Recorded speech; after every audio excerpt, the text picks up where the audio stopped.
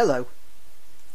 I found a shocking video on YouTube.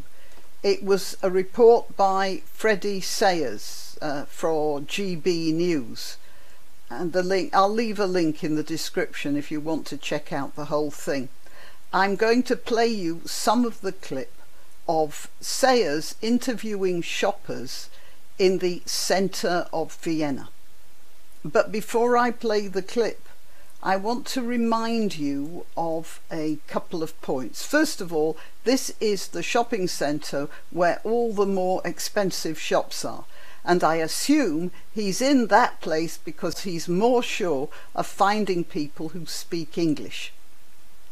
In other words, there's a selection here, you know, a, a narrow selection of the sort of people who are better educated and I'd say most likely to be in the middle class and upper of Viennese society. So basically, what you will see are the sort of people who have the most political influence and more of a voice in Viennese society, well, Austrian society generally. This, what you will see here, are people who are basically among the best and brightest that Austria has to offer. Okay, here goes. It's very unfair of people who are not for health reasons not taking a vaccine because that's obvious, you know. But all the others, they're crazy. So, what this woman is saying is that unvaccinated people are crazy. In other words, there's no discussion to be had. It's all set and absolutely certain.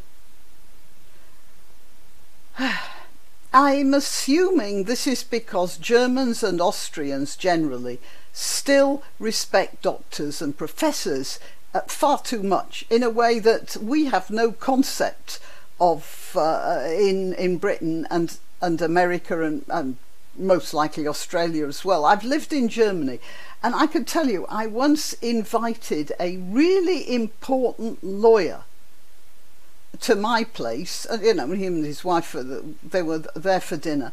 And when he discovered that my husband was a professor, he turned into a gibbering wreck. And the next day he came round to the house with a bunch of flowers the size of Amazon. I am, of course, referring to the retailer. It's much bigger than the rainforest. Okay, all right, on with the show. And this, ladies and gentlemen, if you'll forgive that expression, this is the most shocking thing. And all the trouble we have is due to those people who believe in, I don't know, the earth is flat. all our troubles are caused by these people. Does that sound familiar to you? Also, I want you to notice something else. She refers to them as flat earthers, not as anti you know whaters. That means that deep down she knows they might not be as mad as she says they are. So she has to substitute something else that's really mad to lay on them and then she calls them these people. Creepy, creepy, creepy. All right, next one. Let's see. No, I think it's I think it's the right way because uh, because um, uh, the the um, cases are getting higher and higher and higher, and the problems are the non-vaccinated people. So I'm fine with that. Now, then Sayers asks her a question. Isn't it true though you can still transmit if you're vaccinated? I, what what do you mean? You can still pass the corona on. She doesn't even understand the question, does she? You see those cogs turning. She's completely flummoxed.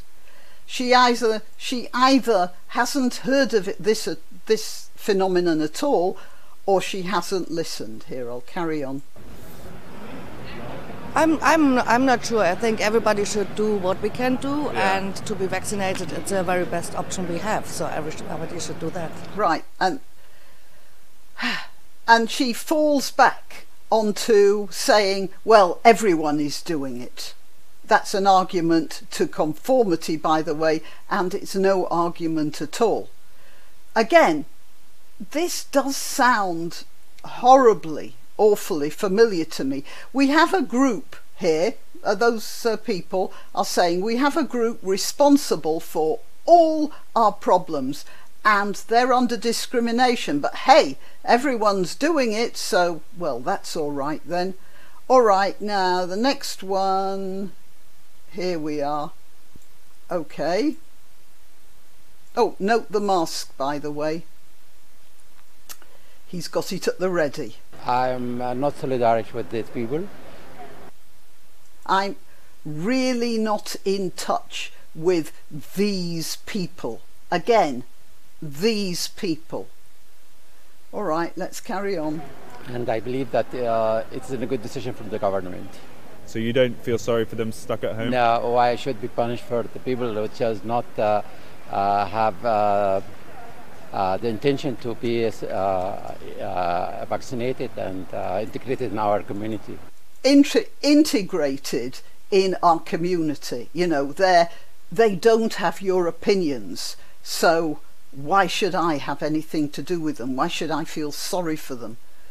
All right, and then. Do you know anyone who's not vaccinated? Yes, yesterday, unfortunately, I met a, a child. He met a child. I seem to remember reports of a time when the grandparents of that guy didn't have many sympathies with children of another out group. Uh, let's uh, go on. He's not going to school today because of lockdown, and um, I asked him why. I said, Because I'm not uh, vaccinated. I said, Why? I'm scared about that. It's... So the child says he's scared. And this guy just smiles and says, Well, you know, just a child. Now, uh, something else occurred to me about this. Well, first of all, I'm going to say that kid was scared of the vaccination, I'll tell you something. No more scared than I am of this guy. But uh, there is another problem that I've seen because you see, as I said, these are all the upper echelons of Austrian society. I mean, Vienna is the top sort of, and then they are probably the top layer of the top.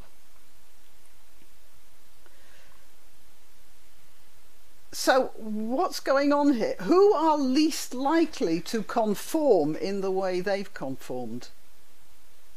Well, the immigrants, the Turks, the guest workers. They are less likely to take the vaccine than people like him. They they are the sort of people who don't trust governments and professors in quite the way these people do. That's the first thing. And these guys know that. So this is not only a push against the unvaccinated, it's a push against the sort of people more likely to be unvaccinated.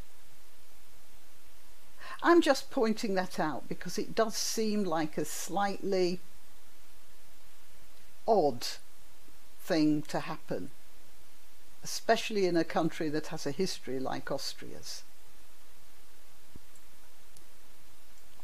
Anyway,